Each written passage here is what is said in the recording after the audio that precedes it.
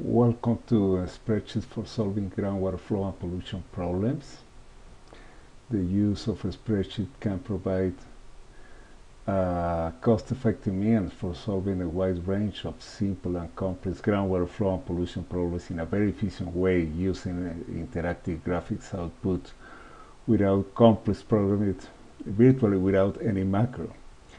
I find this feature extremely useful in the groundwater teaching and learning process, but it is also very useful in the hydrogeology practice, in the scientist, the student, the engineer, even an administrator or regulator can develop his own model for a various uh, range of scenarios.